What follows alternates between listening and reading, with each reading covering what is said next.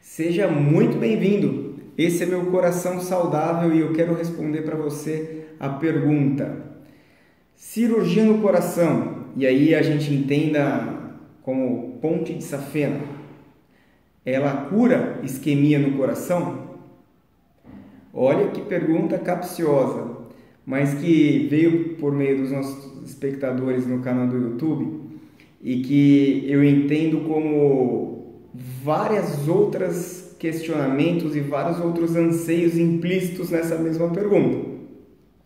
Então a primeira coisa que ele pergunta é sobre isquemia do coração. Nós temos um vídeo que fala sobre isquemia no teste ergométrico e na realidade, isquemia no coração é um fenômeno que acontece e é por isso que eu digo que ela é capciosa porque você vai formando placas de gordura, de aterosclerose, que vão entupindo essas artérias, certo? Essas placas de gordura elas são formadas porque a pessoa vai adquirindo maus hábitos de vida. Tem sim a idade como fator de risco, mas tem o tabagismo, tem a pressão alta, tem o diabetes, colesterol, sobrepeso, sedentarismo, enfim, uma série de problemas. E aí, você vai tendo isquemia.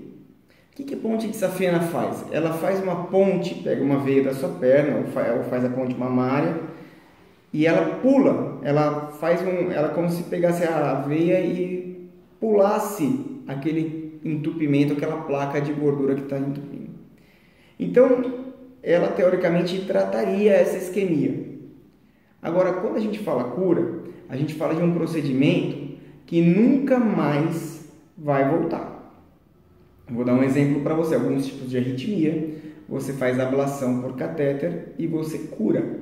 Ele nunca mais vai ter aquela arritmia. Ele pode ter outras, mas aquela que ele tratou não tem mais. Isso é cura.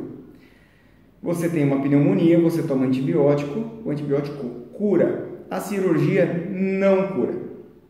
Por que, que a cirurgia não cura? Porque a doença é uma doença dos hábitos de vida, do seu estilo de vida. Então, se você faz a cirurgia e você não muda o seu estilo de vida, essas pontes que você colocou vão entupir, vão surgir novas lesões. Se você não freia o processo pelo qual as placas foram instaladas no seu corpo, você vai sim sofrer novos entupimentos.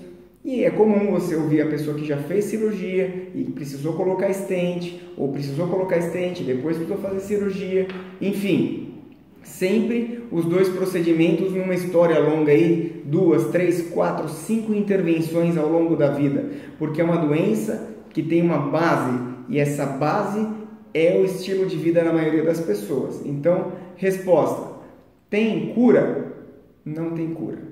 Tem controle, é uma doença crônico-degenerativa. Todo dia pode surgir uma lesão nova. Por isso que você precisa fazer uma boa dieta, mudar seu estilo de vida e se cuidar.